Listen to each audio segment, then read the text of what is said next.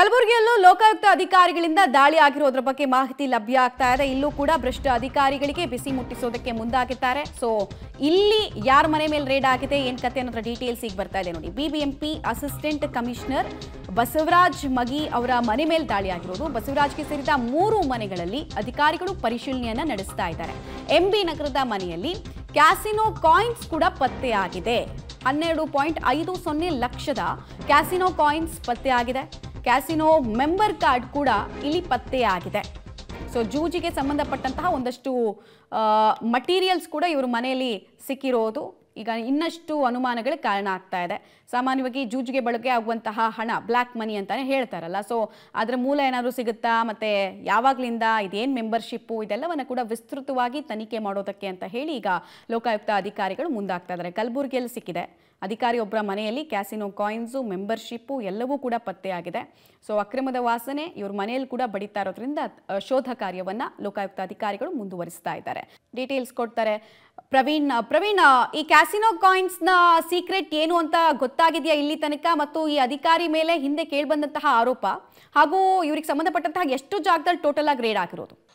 ಮಮತಾ, ಈಗ ಒಂದು ಈಗಾಗಲೇ ಏನಂದ್ರೆ ಕೆಂಗೇರಿ ವಿಭಾಗದ ಕಂದಾಯ ಅಧಿಕಾರಿಯಾಗಿರುವಂತಹ ಬಸವರಾಜ್ ಮಾಗಿ ಮೂಲತಃ ಅವರು ಕಲಬುರಗಿಯವರು. ಕಲಬುರ್ಗಿಯ ಈ ಒಂದು ಪಾಳ ಗ್ರಾಮದವರಾಗಿದ್ದಾರೆ. ಸದ್ಯ ಈಗ ಕಲಬುರ್ಗಿ ಅವರ ಎಂ ಬಿ ನಗರ ಮನೆಯಲ್ಲಿ ಏನಂದ್ರೆ ಸೇರಿದಂತೆ ಒಟ್ಟು ಒಂಬತ್ತು ಕಡೆ, ಬೆಂಗಳೂರು ಹಾಗೂ ಕಲಬುರ್ಗಿ ಸೇರಿದಂತೆ ಒಟ್ಟು ಒಂಬತ್ತು ಕಡೆ ಏನಂದ್ರೆ ರೇಡ್ ಆಗಿದೆ. ಈಗ ಸದ್ಯ ದೃಶ್ಯದಲ್ಲಿ ನೋಡ್ತಾ ಇದ್ದೀರಾ, ಇದು ಕಲಬುರ್ಗಿಯ ಎಂ ಬಿ ನಗರ್ ಒಂದು ಬಡಾವಣೆಯಲ್ಲಿ ಒಂದು ಬಡಾವಣೆಯಲ್ಲಿರುವಂತಹ ಮನೆ ಆಗಿದೆ. ಇಲ್ಲಿ ಲೋಕಾಯುಕ್ತರು, ಅಧಿಕಾರಿಗಳು ದಾಳಿ ಮಾಡಿದಂತಹ ಸಂದರ್ಭದಲ್ಲಿ ಅವರು ಕೂಡ ಒಂದು ಕ್ಷಣ ಶಾಕ್ ಆಗಿದ್ದಾರೆ. ಯಾಕಂದ್ರೆ ಸರ್ವೇ ಸಾಮಾನ್ಯವಾಗಿ ಅಧಿಕಾರಿಗಳ ಮನೆ ಮೇಲೆ ದಾಳಿ ಮಾಡಿದಂತಹ ಸಂದರ್ಭದಲ್ಲಿ ಬಂಗಾರ ಆಗಿರ್ಬೋದು, ಬೆಳ್ಳಿ ಆಗಿರ್ಬೋದು, ವಜ್ರ ಆಗಿರ್ಬೋದು, ಮತ್ತೆ ಇನ್ನಿತರ ಆಸ್ತಿ ಮೌಲ್ಯ ಗಳಿಸಿರುವಂತಹ ಒಂದು ದಾಖಲೆಗಳು, ನಗದು ಕ್ಯಾಶ್ ಸಿಗೋದು ಸರ್ವೇ ಸಾಮಾನ್ಯ. ಆದರೆ ಬಸವರಾಜ್ ಮಾಗಿ ಅವರ ಮನೆಯಲ್ಲಿ ಏನಂದ್ರೆ, ಈ ಒಂದು ಮನೆಯಲ್ಲಿ ಹನ್ನೆರಡೂವರೆ ಲಕ್ಷ ರೂಪಾಯಿ ಮೌಲ್ಯದ ಏನಂದ್ರೆ, ಗೋವಾ ಮೂಲದ ಒಂದು ಖಾಸಗಿ ಒಂದು ಕ್ಯಾಶಿನೋ ಏನು ಪ್ರೈಡ್ ಇದೆ. ಆ ಒಂದು ಕ್ಯಾಶಿನೋದಲ್ಲಿ ಸುಮಾರು ಹನ್ನೆರಡೂವರೆ ಲಕ್ಷ ರೂಪಾಯಿಯಷ್ಟು ಕಾಯಿನ್ಸ್ಗಳು ಈಗ ಲೋಕಾಯುಕ್ತ ಪೊಲೀಸರಿಗೆ ಒಂದು ಸಿಕ್ಕಿವೆ. ಅದೇ ರೀತಿಯಾಗಿ ಬೆಂಗಳೂರಿನಲ್ಲೂ ಕೂಡ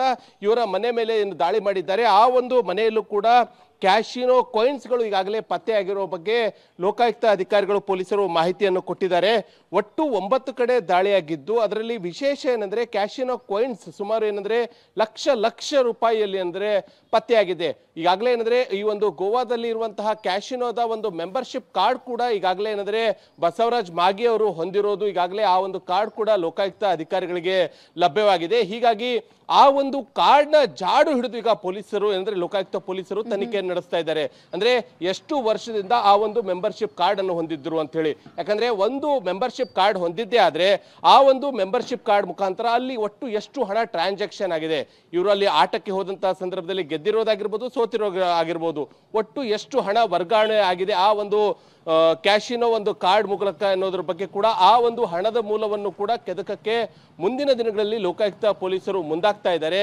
ಸದ್ಯ ಇವರ ಈ ಒಂದು ಕಲಬುರಗಿ ಎಂ ಬಿ ನಗರ ಮನೆಯಲ್ಲಿ ಮತ್ತು ಪಾಳಾದಲ್ಲಿರುವಂತಹ ಮನೆಯಲ್ಲಿ ಕೂಡ ಅಪಾರ ಪ್ರಮಾಣದ ಕಡತಗಳು ಈಗಾಗಲೇ ಪತ್ತೆಯಾಗಿದ್ದು, ಇವತ್ತು ಸಾಯಂಕಾಲದವರೆಗೂ ಕೂಡ ಏನಂದ್ರೆ ಕಲಬುರಗಿಯಲ್ಲಿರುವಂತಹ ನಾಲ್ಕು ಕಡೆ ಲೋಕಾಯುಕ್ತ ಪೊಲೀಸರು ಏನಂದ್ರೆ ತನಿಖೆ ಮುಂದುವರಿಸುವುದಾಗಿ ಈಗಾಗಲೇ ಮಾಹಿತಿಯನ್ನು ಕೊಟ್ಟಿದ್ದಾರೆ. ಮಮತಾ.